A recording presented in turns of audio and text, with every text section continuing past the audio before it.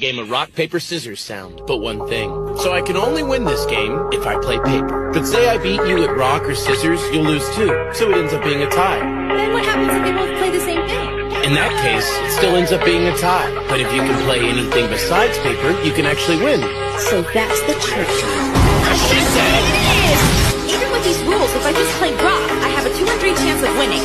Same as scissors, also a 2 in 3 chance. Only have a 1 in 3 chance to win. So, my best chance is throwing scissors or rock.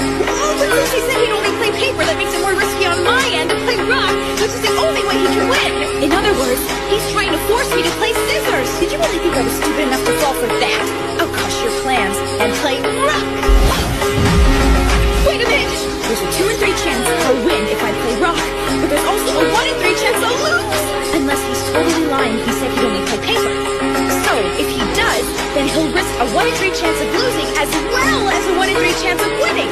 But if he doesn't, we'll have a 2 in 3 chance of losing and absolutely no chance of winning. It's obvious. He's got to pick paper. You ready? Here we go. Yeah, I'm ready. One, But I hope you're ready!